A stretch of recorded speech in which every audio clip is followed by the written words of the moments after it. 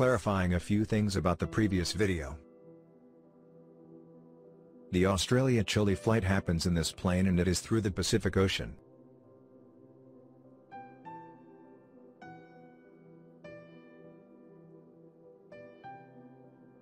What was explained in the last video is that all the maps have errors and are inaccurate. For wanting to adapt a plane to an imaginary sphere and then in turn wanting to transform it into different projections that distort reality. That is why we cannot trust the equidistant azimuthal projection either, it does not accurately represent the reality, the size, or the proportions of the world where we live. Since it is impossible to take a real complete picture of our entire world from above. That is why there is no complete image of the Earth and it is the reason why we do not know the size or the real shape of the plane where we live.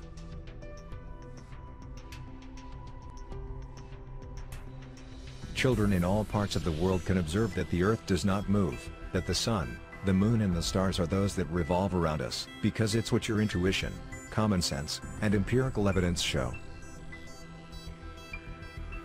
But at school the books show us something very different, an unquestionable truth already established and poor for anyone who wants to question it. The experiments that have been carried out to detect the movement of the Earth have not been able to locate such movement or distinguish it from the relative opposite movement of the universe.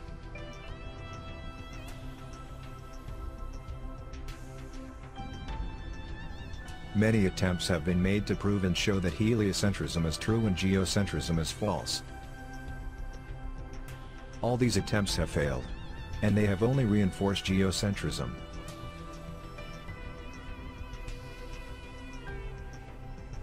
The best known of these is the Michelson-Morley experiment, which attempted to measure the change in the speed of light due to the assumed motion of the Earth through space.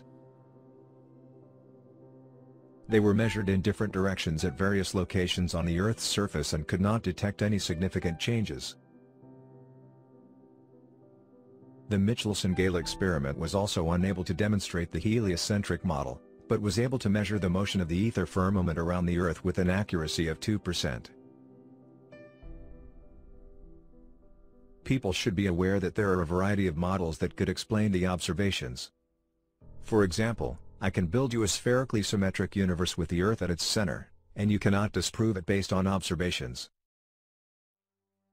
You can only exclude it from a philosophical point of view, from my point of view, there is absolutely nothing wrong with that. What I want to highlight is the fact that we are using philosophical criteria to choose our models. A lot of cosmology tries to hide it. Cosmologist George Ellis, think globally, act universally. to save the heliocentric theory from the conclusive geocentric experiments conducted by Michelson, Morley, Gale, Sagnac, Cantor, and others. Albert Einstein created his theory of special relativity, which in a philosophical act banished the absolute ether firmament from scientific study. And he replaced it with a form of relativism that allowed heliocentrism and geocentrism to have equal merit. If there is no universal etheric medium in which all things exist, then philosophically, a complete relativism can be postulated with respect to the motion of two objects, such as the Earth and the Sun. Today, like the theory of heliocentrism, Einstein's theory of relativity is accepted around the world as absolute truth even though he himself admitted that geocentrism is equally justifiable.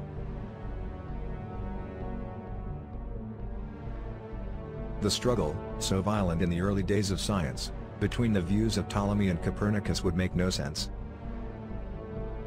Any coordinate system can be used with equal justification. The two phrases, the sun is static and the earth is moving, or the sun is moving and the earth is at rest, would simply mean two different conventions regarding two different coordinate systems. Albert Einstein we know that the difference between a heliocentric theory and a geocentric theory is only a relative motion, and that such a difference has no physical meaning. Cosmologist Fred Hoyle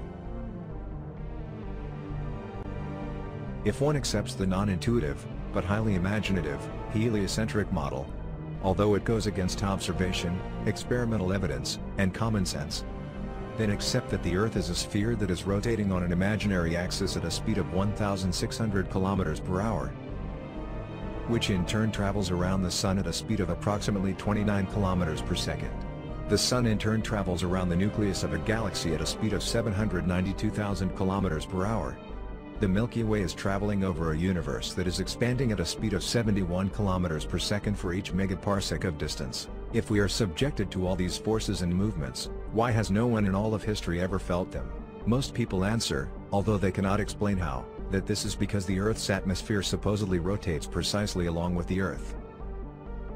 But if that's the case, dogmatic heliocentrists run into a host of problems.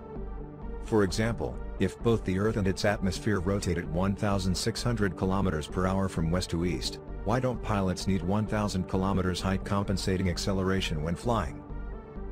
From east to west? If the 1,600 km per hour atmosphere is constantly flowing east, why don't pilots heading north-south have to set diagonal courses to compensate? If the 1,600 km per hour atmosphere is constantly flowing eastward, how do you explain the casual but unpredictable movement of the clouds, wind patterns and weather formations in all directions? If the atmosphere is constantly creeping along with the Earth's rotation, why can I feel the slightest breeze to the west but not the 1,600 km per hour from the Earth turning to the east? By withdrawing the Earth from the immobile center of the universe, these philosophers, Copernicus, Kepler, Newton, Galileo, Einstein, have physically and metaphysically moved us from a place of supreme importance to one of complete indifference and insignificance.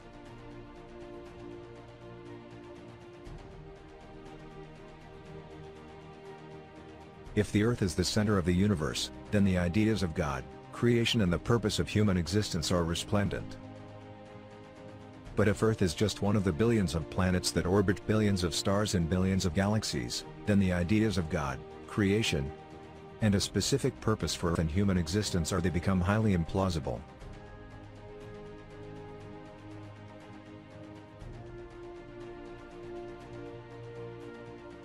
The heliocentric theory, by putting the sun at the center of the universe made man appear to be just one of the possible pilgrims roaming a cold sky.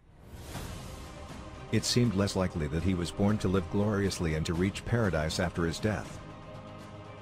Less likely, too, that he was the object of God's care. Morris Kline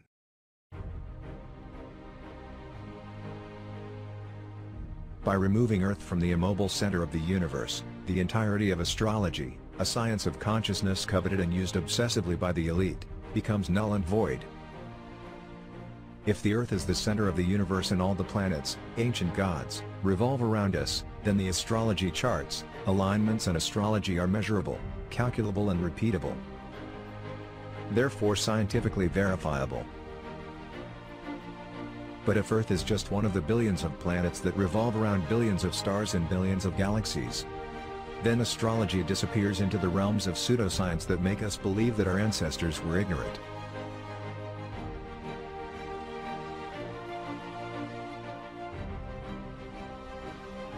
All the supposed evolution of the universe, the Earth and humanity, that is, all modern evolutionary-based cosmology that controls knowledge.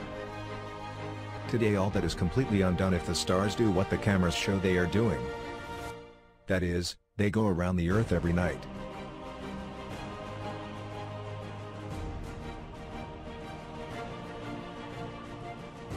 We live in a yin-yang world of duality where everything and its opposite exist together in proportions. Perfect as male-female. Good-bad. Hot-cold, knowledge-ignorance. Inhalation-exhalation, dark-light. Day-night and of course sun and moon. Half of our lives, the day, are ruled by the sun and the other half of our lives, the night, are ruled by the moon but we have been led to believe that the Earth and all the planets revolve around the Sun. That the Sun is much bigger and more distant, the Moon is much smaller and closer. And that is simply our perspective here on Earth, a coincidence that makes them the same size.